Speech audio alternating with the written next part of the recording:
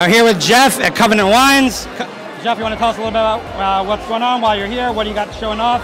We're very excited to be here. We're showcasing the brandy that we make. It's and the brandy is very interesting. The brandy in itself, it's a kosher for Pesach brandy because it's a wine base. It's a Chenin Blanc wine that's double distilled and then sits in the barrel for two years.